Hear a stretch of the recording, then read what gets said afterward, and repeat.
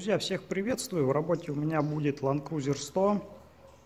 Если я не ошибаюсь, 2004 год, пробег 300 с лишним тысяч километров. Моя задача ремень ГРМ поменять. Сразу попутно будем менять антифриз, потому что сливается какашка. Он темного цвета. И сейчас я покажу вам крышку. Вот у нас крышка, на ней тоже каки. Поэтому антифриз мы заменим. Здесь мы подошли по грамотному. Владелец мне оставил с вечера этот автомобиль. Я помыл слегка под капотку, чтобы было приятнее заниматься автомобилем. Как раз к утру это все дело высохнет. И я продолжу. В общем, антифриз сливаем. Менять масло в автомате будем вместе с фильтром. Сейчас подготавливаю и сливаю жидкость с автоматической трансмиссии перед сливом сразу мы ослабляем он там заливную горловину, чтобы точно знать, что мы ее зальем туда, эту жидкость. Бывает так, что там перетянут, и тогда придется заливать либо через контрольку под давлением, либо через сливное отверстие, как повезет. Последний раз мне пришлось заливать под давлением вот через контрольку жидкость в автомат, потому что там стоял блокиратор КПП, и подлезть к пробке было вообще невозможным. Попутно передние колодки, скорее всего, вылезут, но это не так важно. То, что касается Грэма, мы с владельцем здесь подошли грамотно, не стали экономить. Получается, весь комплект у меня в оригинале. То есть все, что можно и нельзя. Водяной насос. Получается ролик-натяжитель. Тут один из промежуточных роликов. Прокладка автомата, все в оригинале фильтр автомата в оригинале.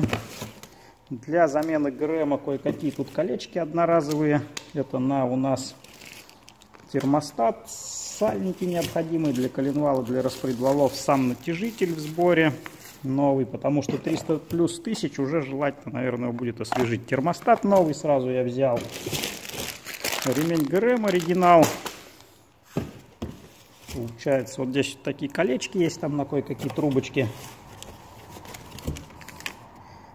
Так, здесь у нас тоже для одной из трубок получается уплотнительное кольцо. В сборе у нас будет натяжитель навесного ремня. Такая вот конструкция в оригинале. Так, получается у нас еще один из роликов. Ролик паразитный верхний, это навесного ремня зубчатый. И взяли вот такой кронштейн вертолет, потому что пробег 300 плюс, уже есть смысл его поменять. В общем, весь комплект вот этот в оригинале, обошелся он порядка 40 тысяч рублей. И это грамотный подход, потому что, в общем, смысл такой, что я владельцу сказал, если ГРМом я буду заниматься сам, то я буду делать это на оригинальных комплектующих. Все-таки с китайскими какими-то аналогами мудрить, вертеть смысла нет. Можно как вариант некоторые ролики рассмотреть фирмы Коя, но они по ценнику были практически как оригинальные. Поэтому я все взял в оригинале и как бы закрыли вопрос. В общем, буду заниматься процессом. Процесс длительный, на день, на полтора, на два я попросил, чтобы мне владелец машину оставил. Как можно видеть, раньше японцы делали вещи Нигде ничего у нас не течет, не сопливит. Помпа, как на RX 350, не течет, не шумит, не гудит. Все четко, все красиво, все отлично. Да, уже по пробегу тут с рулевой рейкой есть небольшие сопливости, но в принципе пока все у нас достаточно живо и жить еще будет. Сразу попутно я вот здесь обнаружил, что у нас радиатор не закреплен, винты потерялись. Поставим новые, закрепим все это дело. Ну и продолжим процесс, будем все разбирать, смотреть, вертеть, крутить, чинить. Сейчас я займусь автоматом, скину поддон, поменяю фильтр, заправлю жидкость и уже потом перейду на моторку. Масло в моторе также будем менять. В общем, большая тошка, так называемая, будет у нас запланирована. Из заметок Да, в принципе, особых заметок тут никаких я и не сделаю. Как я и упоминал, раньше японцы делали вещи, какие-то проблемы по сотке, они бывают присутствуют, но не в больших массовых масштабах получается. Возможно, все снимать не буду, потому что на телефоне нету памяти. Поэтому что смогу, то сниму, что не смогу, то получается пройдет мимо экрана. Скинул поддон, состояние внутри нормальное, масло, конечно, какашкинское, но ничего страшного. Так, и посмотрим мы на магниты. В принципе, по большому счету, на, на магнитах э, грязи не так много, стружки не так много. Колом ничего тут не стоит, поэтому я еще раз хочу сказать, друзья, что Лучше вы почаще меняйте жидкость в автомате, нежели занимаетесь вот снятием поддонов на больших пробегах, заменой фильтров и прочего. Также, что можно отметить, у коробки автомат, в принципе, есть две, скажем так, причины выхода ее из строя. Это эксплуатационный фактор, когда ее владелец сам ушатывает. И получается ресурсно-конструкционный фактор – то есть, если мы посмотрим на динамику поломки автоматов, в основном это либо разгильдяйство владельца, либо чисто конструктивные уже поломки идут. То есть, в основном зависимость ресурса от частоты замены масла, я думаю, там не совсем большая. Поэтому все это делается для профилактики, просто для того, чтобы нормально все работало максимально долгое количество времени. Но это не панацея от поломок. Поэтому если конструкционно коробка плохая, она будет ломаться. Таким образом, что я хочу до вас донести. Если автомат или вариатор нормально спроектирован и сделан качественно, то у него будет нормальный, достаточно адекватный ресурс – который фактически будет мало зависеть от частоты замены жидкости.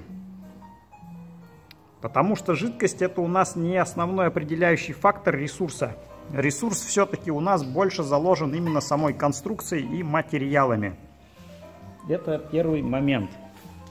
Второй момент. С учетом того, что у нас качество материалов страдает – Лучше периодически заниматься заменой жидкости в вариаторе либо в автомате. То есть все-таки это чуть-чуть, но ресурс будет продлять. Ну и также будет влиять на эксплуатационные характеристики, то есть толчки, пинки, потому что жидкость в процессе эксплуатации, она, во-первых, теряет свои свойства, как ни крути, она не может работать вечно. Идет просадка по вязкости, соответственно, у нас работа и плавность, например, работа, работы трансмиссии, она может нарушаться. Ну, это такое лирическое отступление. В общем, еще раз мы смотрим, что стружки на магнитах у нас немного. А вот этот фильтр металлический, его желательно, конечно, поменять. Потому что если мы присмотримся, то внутри мы увидим вот такое подобие пыльцы. И промыть, я думаю, все это будет проблематично. Поэтому при цене вопроса небольшой на данный фильтр, мы его просто возьмем и поменяем. И не будем заморачиваться на промывке. Так, сейчас я попробую взять бумажечку чистую и пройтись. Так, берем чистенькую бумажечку белую и потрем внутри фильтра.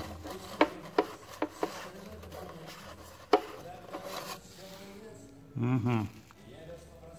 Так, соответственно, что мы можем здесь наблюдать? Видим мы металлические вкрапления небольшие, это частицы продукта износа. Вот они у нас блестят. И черные Следы это у нас получается, я думаю, фрикционы. То же самое мы видим, получается, на корпусе. Вот у меня белая часть. Сейчас я вот так вот возьму и потрем. То есть, как можно видеть,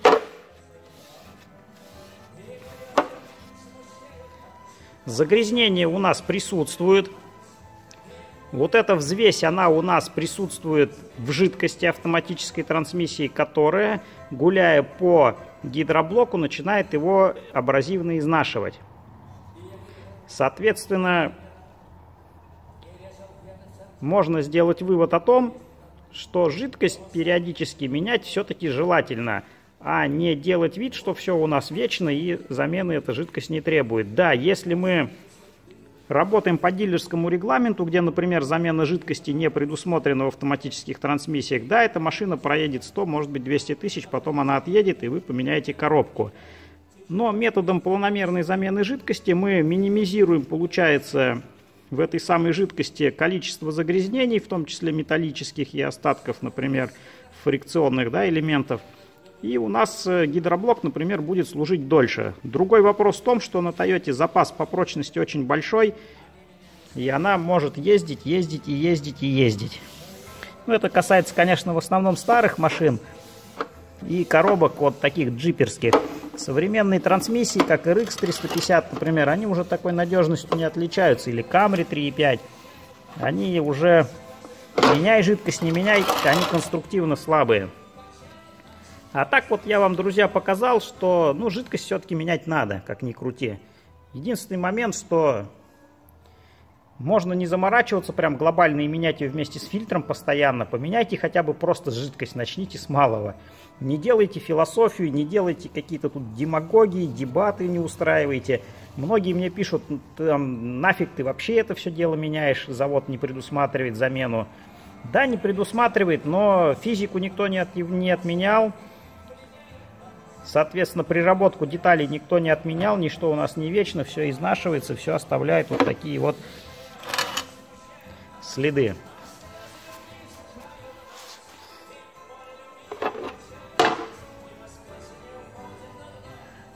Мелких какашек, я смотрю, в фильтре достаточно много.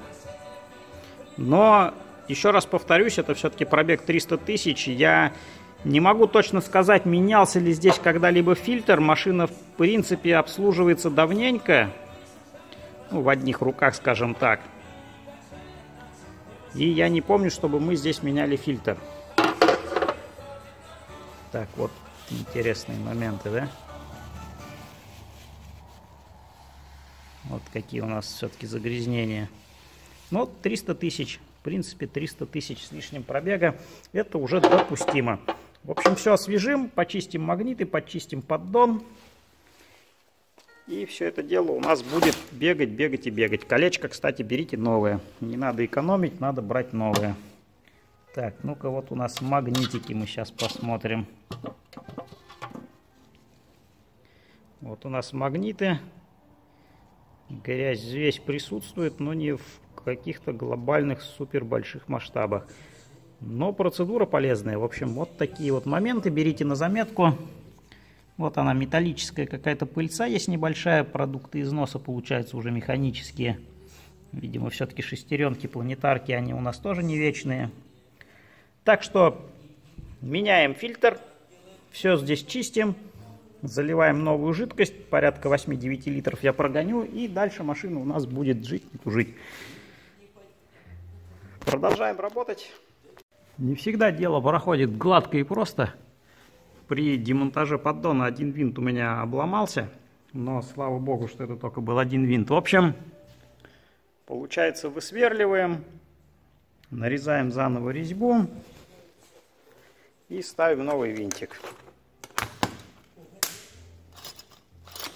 Был в запасе. Вот такие неприятности могут вас подстерегать при работе. Движуха идет очень медленно. Вот время на часах 12 ночи доходит. Я час пропыхтел просто с элементарной темой. Не мог слить антифриз. Открутил кранчик, не течет. Забит на глушняк какой-то хренью. Видимо, герметик какой-то добавляли. Ковырял, ковырял, не смог расковырять. Бросил эту тему, перешел на другую сторону. С другой стороны, этот краник здесь находится в очке, до него очень тяжело дотянуться. В общем, ладно, дотянулся там кое-как, открутил, тоже не течет. Здесь минут 25 потратил. Перешел на эту сторону, думал, сейчас сам кранчик целиком в сборе откручу. Не идет, насмерть сидит. В общем, в итоге пришлось дрелькой пшик-пшик-пшик-пшик просверлить отверстие там насквозь и слить антифриз, потому что антифриз какашка полнейшая, и сливать надо целиком. Плюс еще я, может быть, эту систему попробую водой дистиллированной промыть перед заливкой свежего антифриза, поэтому сливник мне нужен. Вот, на такие элементарные вещи, казалось бы, уходит очень много времени. Дальше, почему я не люблю заниматься моторной темой, и я и не занимаюсь. После всех вот этих процедур дурацких, сервис просто насмерть засирается. Я уже второй раз убирал полы, сейчас я буду убирать третий раз, чтобы можно было ходить. Иначе вся вот эта маслянистая фигня, она вот по всему боксу как бы расходится, что я очень не люблю. Поэтому сейчас наводим порядок. На сегодня я, наверное, завершаю, с утра продолжу, потому что что-то 12 ночи уже сил нет возиться целый день на ногах. Вот такие интересные моменты. А потом говорят, ой, что-то там у тебя дорого, например. Ну, а дешево-то не получается и сердито какой-то баланс надо держать цена-качество, потому что хотите дешево, приезжаете в какой-нибудь там черный гараж весь засранный, и там что-то кто-то вам делает, хрен знает что как бы. Поэтому вот из попутных моментов получается кранчик пришлось тут мудить, вертеть, восстанавливать. Здесь пришлось нарезать резьбу, болт поставить новый. То есть такие вот вещи, как бы они мелкие, но отнимают много времени.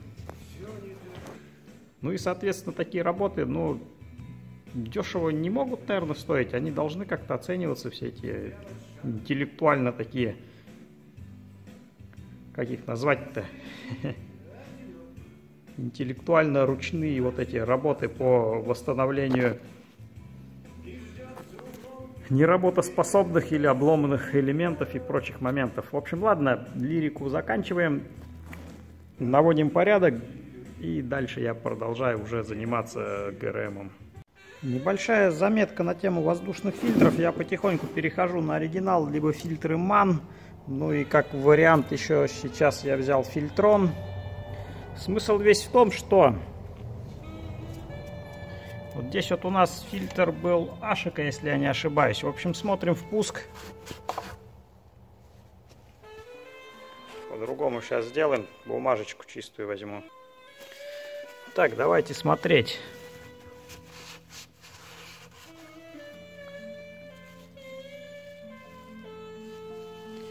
Внутри присутствует пыль. Возьмем сейчас воздушный патрубок. На нем вот здесь лучше видно. Вот это то, что у нас идет на подачу в двигатель.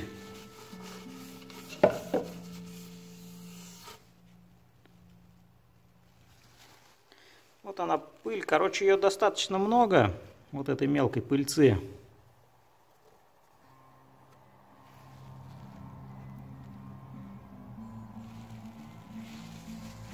На камеру сложно передать.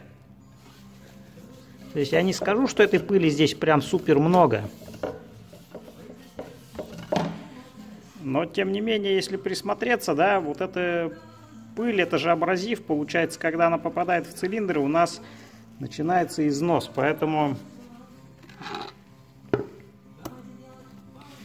я вам, друзья, все-таки рекомендую, наверное, Сакура это у нас. Потихоньку переходить на оригинальные фильтры вот на таких больших машинах, большеобъемных, ну, либо на хороших производителей. Это в основном у нас вот ман фильтры. Вот сейчас я перехожу на маны, соответственно, на оригинальные. На двухсотку я вообще всегда только оригинал беру. На Prado дизель современные тоже оригиналы у меня. Из аналогов можно ставить на машины, которые в лайт режиме эксплуатируются, но все-таки джипаки эксплуатируются у нас не только в городе, поэтому, друзья, наверное, я вам порекомендую, в общем, заканчивать с Краиловым и брать нормальные, качественные, проверенные вещи, чтобы мотор ваш ходил долго и хорошо. На заметку. Так, еще раз показываю патрубок, который у нас к дросселю присоединяется. То есть видите, да, запыление? Вот я пальцем протираю, чернеет. То есть это все пыль, абразив. В общем, берите на заметку на тему воздушных фильтров. Не каждый фильтр фильтр. Так, мужики, то, что касается всяких дерьмогерметиков для устранения течи из радиаторов и прочего, не вздумайте применять это все дерьмо. Вот таким образом потом все это коксуется кусками и уделает систему охлаждения. Вот, смотрите, какие куски я достал. Херни вот такой вот герме, герметик ебучий. Прошу прощения, по-другому что-то даже и сказать нельзя. Ну просто нормальную машину можно ушатать вот этим плохим продуктом, скажем так. Смотрите, какой кусок какахи я вон вытащил. Это же просто кошмар. Пипец вообще, задница полнейшая. Только в экстренном случае применяйте вот такие химические какие-то добавки герметичные в систему охлаждения. Если есть возможность избежать применения, лучше избегайте, потому что чем это потом кончится, непонятно. Если вот эта балда забьет, получается, ну термостат может забить, а если печку забьет, то потом печку менять, это вообще геморрой. Поэтому будьте внимательны, не лейте что подряд никуда.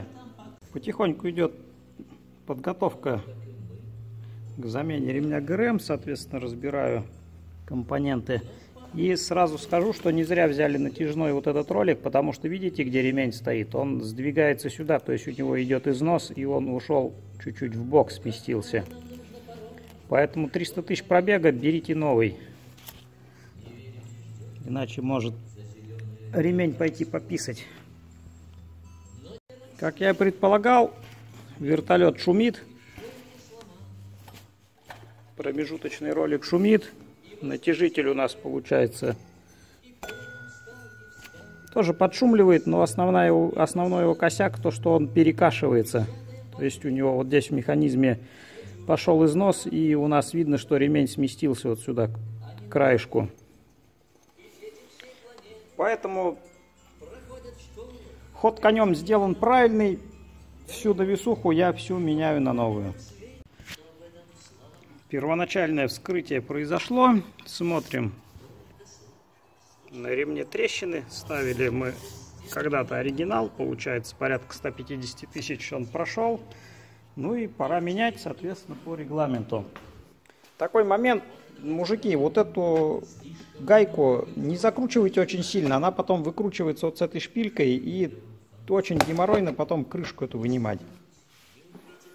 Я вон открутил уже ролик, чтобы вытащить. И получается, ну кое-как выколупал ее. Либо надо вот эту часть сейчас демонтировать. В общем, не затягивайте до победного. Некоторые элементы подтянули. И все путем. Ну и смазывать не забывайте винтики, гаечки. Продолжается у меня работа по ГРМ. Сальник распредвала я один поменял. Сейчас я второй меняю. И потом начну собирать все в обратном порядке. Процедура как бы не самое приятное, но движуха идет. А, сальник коленчатого вала тоже заменил. На заметку перед установкой шкивов, например, на коленчатый вал, нулевочкой проходим вот здесь вот, убираем ржавчину, чуть-чуть наносим смазку и устанавливаем, чтобы потом все это дело легко снималось, потому что снимать мне пришлось все это дело съемничками специальными. Вот такими вот Ремень оригинальный, смотрим метки. Правый распредвал, левый распредвал.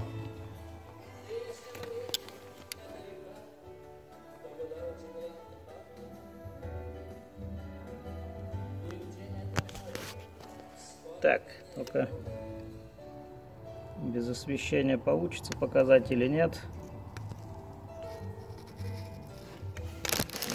Моталки.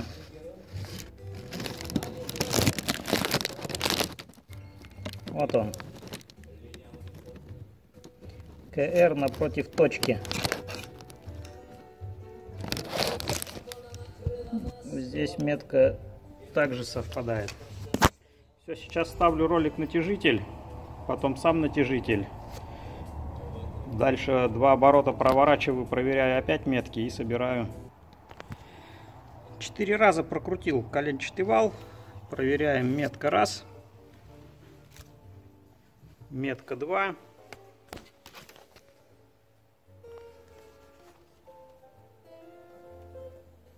И метка 3. Ну, камера плохо передает, в общем.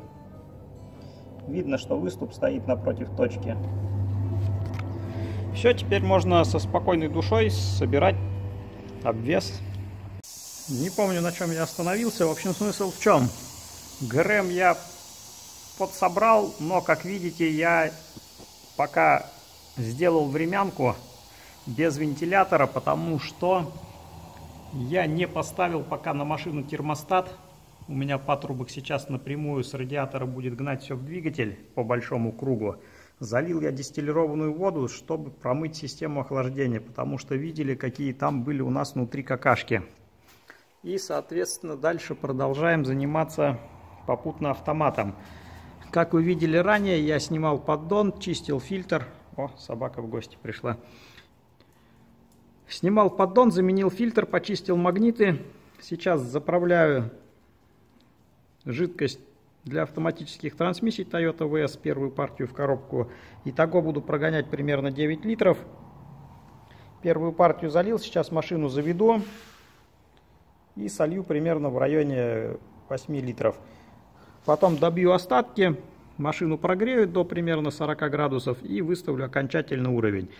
Дальше машину прогрею до 90 градусов примерно солью воду и уже по результатам дальше залью чистый антифриз и установлю, соответственно, термостат, поставлю крыльчатку вентилятора, в общем, ну, подсоберу уже в полном объеме под капотку. Ну а сейчас занимаемся автоматом. Пробег 320 тысяч, еще раз напоминаю. Мотор работает четко, как новый. Японцы умели делать вещи раньше. Бомбовый мотор, абсолютно беспроблемный, супер надежный, конфета. Ну а я, как и сказал, прогреваю автомат, соответственно, занимаюсь промывкой системы охлаждения. После того, как автомобиль прогрею, прогрею полностью, солью воду дистиллированную и уже буду окончательно собирать здесь моторный отсек и заливать антифриз. Также установлю термостат. Термостата сейчас нету, все гоняется просто напрямую. Чтобы не было лишних сопротивлений. И новый термостат, чтобы не засрать остатками вот этой какашки, которые присутствуют в системе охлаждения. Процедуру контроля я показывать не буду. Коробка холодная, тут даже и на ощупь понятно. Пусть она греется. Открутили контрольку, струйка полилась, как только начинает капать, закрутили уровень норме. Открутили, ничего нету, значит надо доливать. Все, руки пачкать не буду, останавливаться на этом больше не буду.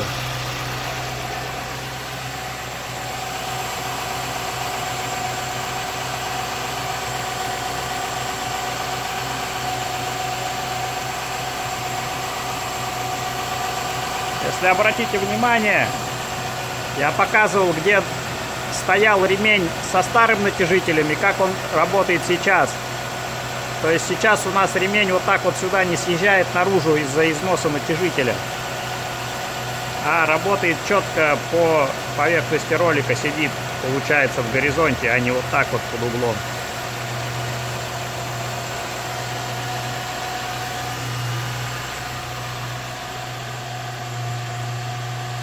Автомате выставил, сливаю дистиллированную воду, как можно видеть. Вода грязная сливается, темноватая. Поэтому не зря решил я ее, эту систему немного промыть перед тем, как залить чистый антифриз. Какашки надо убрать. Сейчас сольем с радиатора и потом я уже, получается, как и говорил, сливник на блоке подготовил, прочистил, через него также сольем с блока. В общем, я решил сделать еще один заход по промывке системы охлаждения. Еще раз залил туда 10 литров воды дистиллировки. Ну и сейчас уже более-менее чистая у меня вода сливается. Сливаю я ее сразу на пол, потому что надо помыть полы. Как раз мне этой воды хватит, чтобы здесь навести кое-какой порядок. Иначе потому что все просто загадилось. Второй заход по промывке дистиллированной водой я завершил. Сейчас устанавливаю новый термостат. В оригинале взял. На старом термостате. Не зря, кстати, взял. Видите, вылезла какая-то шняга. В общем, ставим новый. Чтобы все было по фэншуй, оригинал с новой оригинальной прокладкой. Небольшое замечание по теме патрубков. Перед тем, как устанавливать шланги, вот это дело я все нулевочкой подчистил. Сделал поверхность хорошую, потому что она была, скажем так, загрязнена небольшими отложениями непонятными. На герметик я патрубки никогда не сажаю. Мне такой подход не нравится, потому что потом демонтировать это все тяжело при необходимости, соответственно, очищать всю эту парашу. В общем, я стараюсь все делать по оригинальной технологии, вот как он здесь сидит, без всяких герметиков. Так я без герметика его и сажаю. Обычно, если поверхности чистые, привалочные, то никаких потеков, течи нету. Берите на заметку. В общем, я не любитель лишний раз мазать какие-то либо контактные поверхности герметиками, там, где это не предусмотрено. Потом промою дроссель